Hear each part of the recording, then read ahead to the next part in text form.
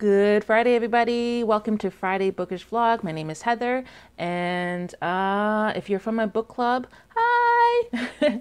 um, the book club that I'm a part of is Writers Read on Facebook, so check it out. If you want to join, you have to like send an invite, and I'll take a look at you and see if you qualify. I'm just kidding. Usually, I accept the the invites, anyways. Um, oh shoot, chair.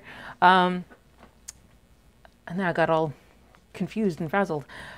But uh, this week, I decided to, um, I don't know, like I didn't do a heck of a lot of reading. I did buy a book though, and it has a lot to do with my culture.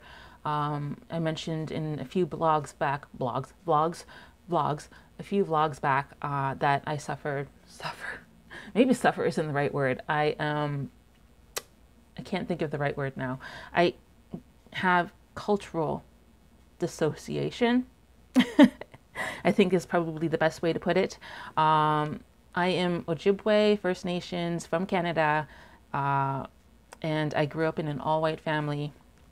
And they did their best to try and uh, get me in touch with my culture. But I guess when you grow up away from your culture and you just start to kind of grow away from it as you grow older. And um, that's kind of what happened with me. I just kind of lost touch with that part of myself.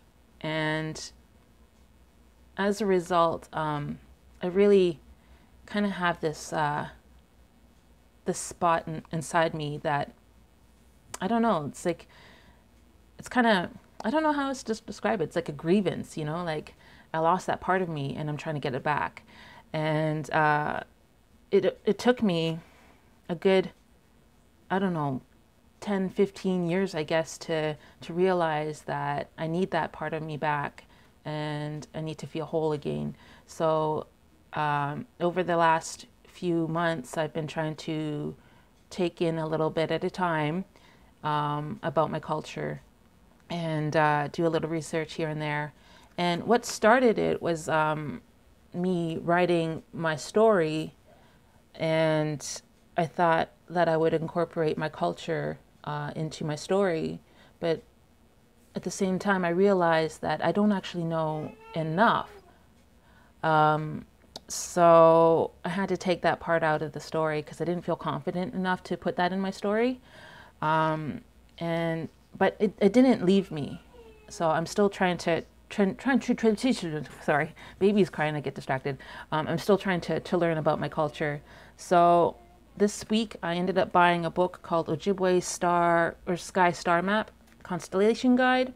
I thought it would be interesting to learn um, about how my people saw the starry sky, um, since what inspired me to look back at my my culture was the starry sky. So we'll start off with that. it's a really short read, about 45 uh, pages. I might have to go or make this short. But um, yeah, so I want to read that this month uh, or this week or however long it takes me. Sometimes I have to like read at like three o'clock in the morning. Okay. Um, I am a huge Kindle reader or Audible reader, so that's pretty much how I get a lot of the books that I read done. Um, one of the other books that I'm reading right now is called Tami-Hoag the Boy, and uh, I wish I could say that I'm like absolutely loving it, but nor like normally I do love her books, but this one is just not resonating with me at the moment and it's got nothing to do with her writing or with the characters or whatever. Like she is a really good writer, and uh, she was probably like the first uh, author that I fell in love with. I guess you know the author crushes and stuff like that. Um, I would say that she was my uh, teenage author crush. I picked up one of her books. My mom gave it to me and she's like, "Here, you should read this. This one is really good." So, um, the first book that I read of hers was uh, "Kill the Messenger," and I absolutely loved it. It was about a teenage boy and his brother, and he's a messenger, and he's got to like.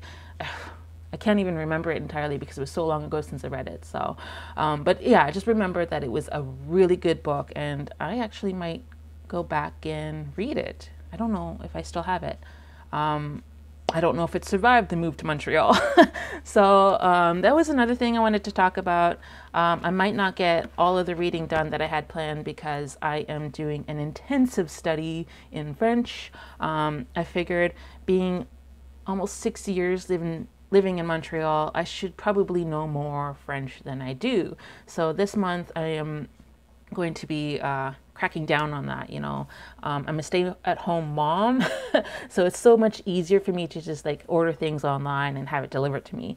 And the only people that I interact with are the couriers, and basically it's just like bonjour, how are you? You know, blah blah blah. But uh, yeah, this week um, I decided to crack down on that French. So if you're a language learner, maybe if you have tips for me, uh, let me know. I, I, can use your tips. Um, but uh, other than that, there is not a heck of a lot of stuff that I wanted to talk about this week. Um, I am still going to try and read Hidden Figures and watch that movie. I've got them right here. I'm so excited to, to read it. But you know what? I was looking at this book and there's not a lot of narrative. It looks like it just might be like fact, a lot of fact of following people's lives. And so it might be a lot harder for me to get through that because um, I don't know. I like I take too many breaks when I read facts, so it, I don't know. I don't know what's going to happen. Is what I'm, I'm basically just saying. Um, next week I might just be reading that, and I don't know. We'll see. We'll see what happens day by day, um, coffee by coffee, and uh, that's all. That's all I got for you guys today. um, I hope you like this vlog. I hope next week I'll be able to come back. Uh, like I said, it's going to be a week by week basis. If you see me, um, it means that I survived another week. If you don't, well, it just means that I forgot the days again, and you probably see me the following week. so, anyways, you guys have a wonderful weekend. I hope to see you next week, and yeah.